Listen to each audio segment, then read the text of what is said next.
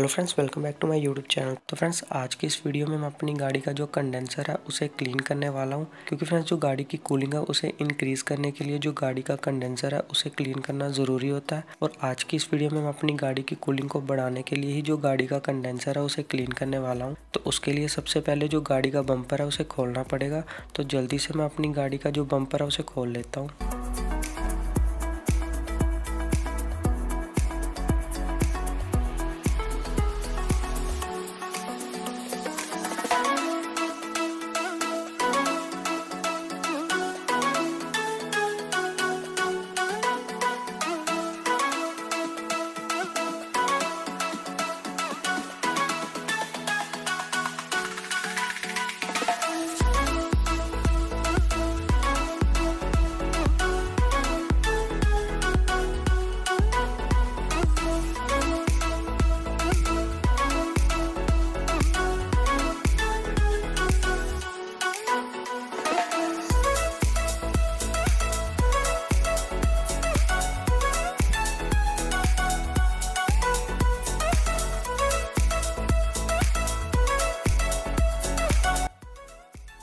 तो फ्रेंड्स, गाड़ी का जो बम्पर है, उसे हटाने के बाद आप कंडेंसर की कंडीशन देख सकते हैं। तो फ्रेंड्स, इसे मैं जितना क्लीन करूँगा, उतनी ज़्यादा मेरी गाड़ी में जो कूलिंग है, वो इंक्रीज़ हो जाएगी। तो इसे मैं केमिकल के साथ क्लीन करने वाला हूँ। आप अगर इसे पानी के साथ वॉश करना चाहते हैं तो आप वो भी कर सकते हैं। ज़रूरी नहीं कि इसे केमिकल के साथ ही आप क्लीन करें। आप सिंपली पानी के जो प्रेशर है, उसके साथ भी इसे क्लीन कर सकते हैं। तो फ्रेंड्स, जब केमिकल आप लगाएँगे तो उसके बाद इसमें फॉर्म बनना शुरू हो जाएगी। क्योंकि फ्रेंड्स, जो फिन्स के अंदर की जो डस्ट है, वो सारी की सारी जो ये फॉर्म के साथ बाहर आ जाती है तो उसके बाद जो अपना कंडेंसर है वो अंदर से भी अच्छी तरह क्लीन हो जाता है।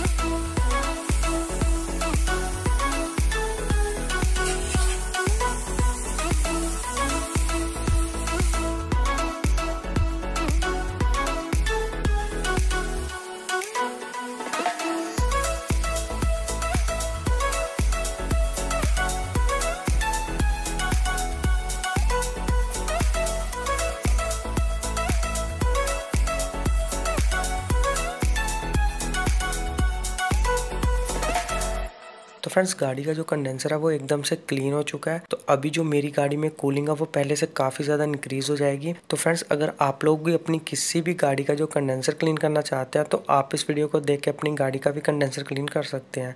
तो thank you friends for watching my video watch the next video subscribe my YouTube channel